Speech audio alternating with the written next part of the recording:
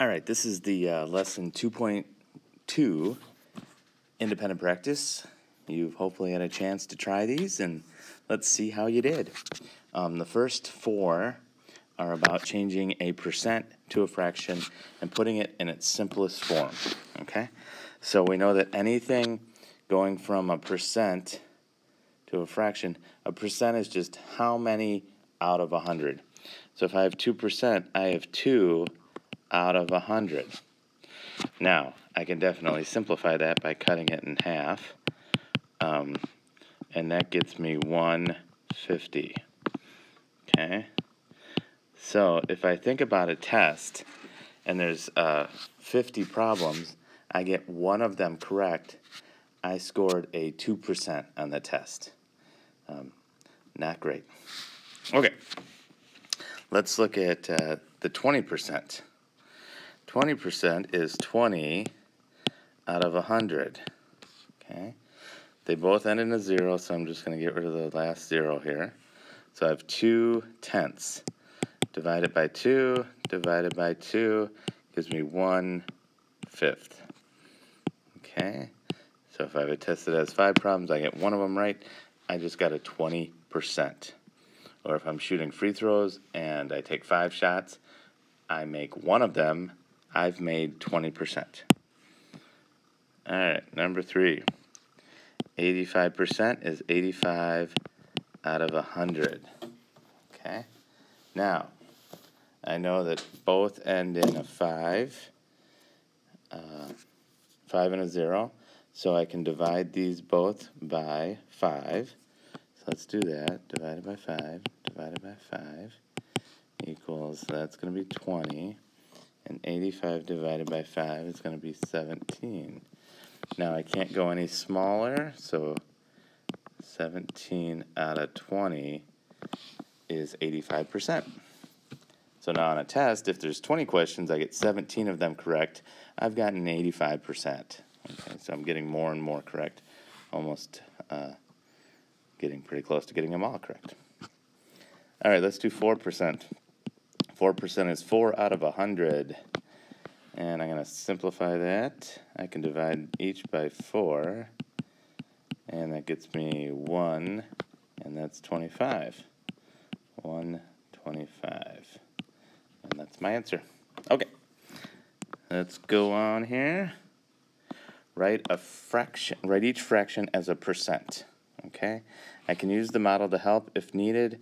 I like to just take it um, from this, I like to get it to 100. If I can get the bottom to 100, then I know I have my percent. So 10 times 10, I got to do the same to the top and the bottom. 2 times 10 is 20. So 2 out of 10 is 20%. Okay. 3 fourths. 3 fourths. I know I have quite a, I have almost have everything. So I'm going to have a pretty good percentage. Um, but let's do 3 fourths, and I think I can get the bottom to 100. 4 times 25, and 3 times 25. Um, and if I do that, it is 75. So 75%. Okay. Next one seven twenties. Seven twenties. I'm to get that bottom to be a hundred. The way I do it is times five. And if I do this top, same to the top and bottom, I'm all good. 7 times 5 is 35. So 7 20s is the same as 35 over 100. And because it's out of 100, it is 35%. Okay. And one more. 1125 equals, I know I can get 25 to 100 by timesing it 4. So times 4 is 44. So 11 over 25 is 44%. Okay, let's do some word problems. Everybody's fun stuff. During his workout, Elon spent 28% of the time on the treadmill. What fraction of his workout was on the treadmill? Well, if it was 28%, it was 28 over 100. Now I just have to simplify it. Let's cut it in half. 28 and a half is 14, and that's 50. They're both still even. I'm going to cut it in half one more time. That's 725. All right, and there's my answer. Okay, a cat spends 7 out of 10 hours sleeping. About what percentage of a cat's day is spent sleeping? 7 out of 10. I want to get that to a percent. I got to get it out of 100 times 10 times 10, 70. 70%. A cat sleeps for 70%, about 70% of the day. Quite a little life those kitty cats have. Okay. Number 11. A survey showed that 82% of youth most often use the internet at home. What fraction of youth surveyed most often use the internet somewhere else? Okay, so if it's 82, here's where you got to think a little bit. They want somewhere else. So if it's 82% use the internet at home, um, I'm going to do 82. I'm going to take it away from 100. Subtract it. That's a 0, there's a 10, that's 9, that's 10, that's 8. 18.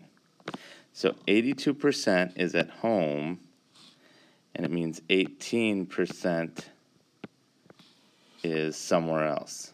Okay? Because 82 and 18% would be 100%, and that's all the time. You're either going to use the internet at home or you're going to use it somewhere else. So those two things have to add up to be 100%, which means all the time, everything. So I just subtracted uh, 82% from 100%, and it got me my 18%. Now, what fraction? It doesn't want a percent, it wants a fraction.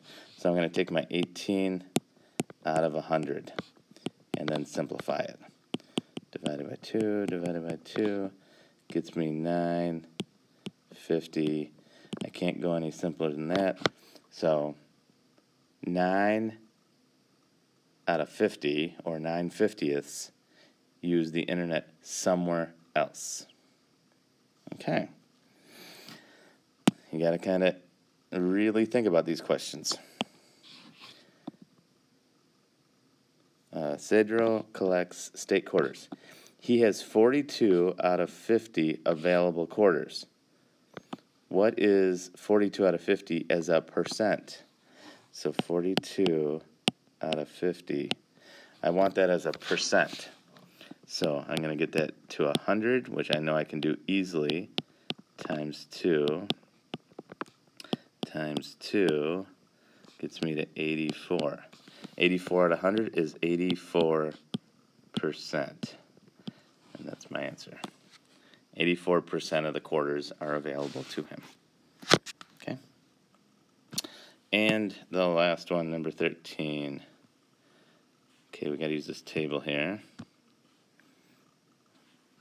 we have uh, used the table to determine what percent of students prefer school uniforms and what percent do not. Okay, so I want a percent here and a percent here. I'm going to get it into a fraction first. So the way I get into a fraction, I know I have 1, 2, there's 5, 10, 15. I have 16 for no.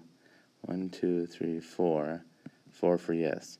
So there's 20 total students. So the no equals 16 out of 20. And the yes equals 4 out of 20. Those are my fractions, but it wants um, percents. Percents, okay? Um, so I'm going to take this into a percent. I have to get this to 100 times 5 times 5. And if I do that, 16 times 5 is 80. So this one equals 80%. So 80% would say no to school uniforms. 80% say no. Let's see what this percentage. It's 20, so I'm going to do the same thing by times 5 to get it to 100. Times 5, that's 20. So 20% say yes. 20%. Now, how do those relate? Because we've used all the students in the survey, we know we have to have 100%.